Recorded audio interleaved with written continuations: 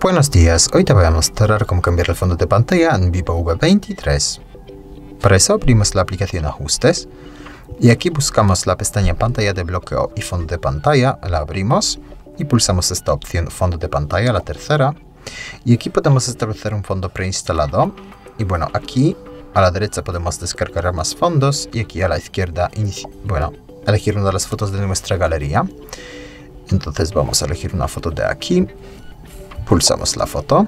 Y ahora podemos recortar un poquito la imagen.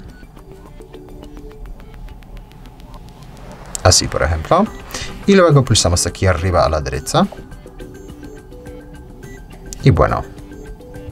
Así acabamos de cambiar el fondo de pantalla de inicio. Y ahora volvemos aquí de nuevo. Y si queremos cambiar el fondo de pantalla de bloqueo, hacemos lo mismo recortamos la imagen, pero marcamos esta opción, pantalla de bloqueo. Bueno, ahora recortamos la imagen y confirmamos aquí a la derecha. Y bueno, si quieres cambiar ambos fondos, hay que simplemente pulsar aquí y ya está. Confirmamos. Y bueno, como ves el fondo de pantalla de bloqueo también está cambiado. Muchas gracias por ver el vídeo, te invito a comentar abajo y suscribirte al canal. Hasta luego.